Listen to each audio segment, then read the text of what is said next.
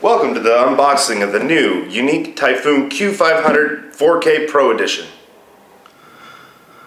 Opening the box of the Typhoon Q500 4K, you'll see some information about the 4K.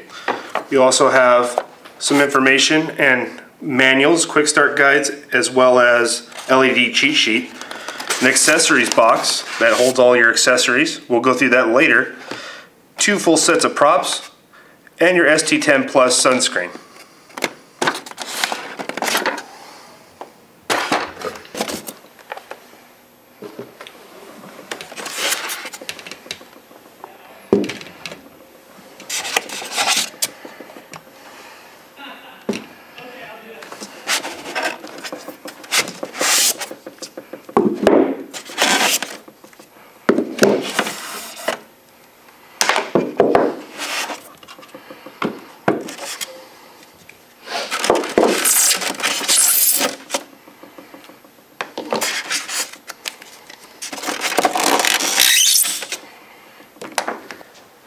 As you can see, the new Typhoon Q500 4K comes pre-assembled out of the package with the CGO 3 camera 4K.